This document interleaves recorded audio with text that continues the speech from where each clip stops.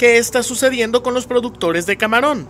En Jiquilisco, Usulután, las cooperativas camaroneras están percibiendo bajas en sus ventas debido a la saturación en el mercado.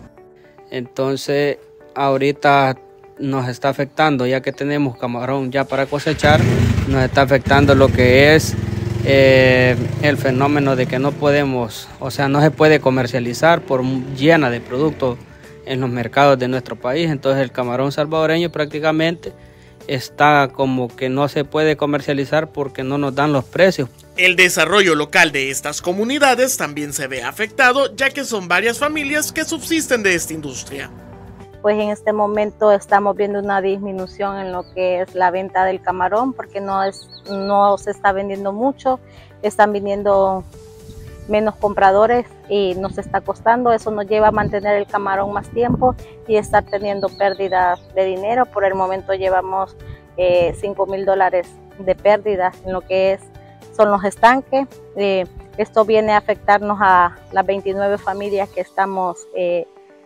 como socias de la cooperativa, también a personas que trabajan, ya que tenemos que tomar medidas de sembrar menos camarón.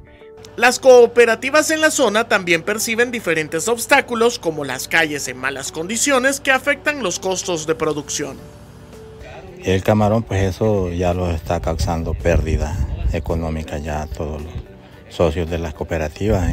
No es solo eh, digamos, exclusivamente de las arellanas, sino que todo el sector camaronero está cayendo en, quiebras por el motivo de los precios que se han desplomado en gran mayoría.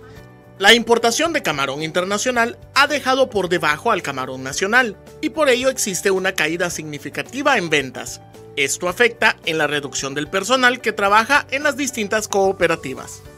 Eh, creo que uno de los problemas que estamos teniendo de los fenómenos es que está llegando camarón de otros países a precios más bajos y a tallas más un poco más grandes. Entonces eh, pues pedir allí pues de ayuda que, que para el sector camaronero pues se, ayude por lo menos en informar la, la, situación que está viviendo ahorita todo lo que es el sector camaronero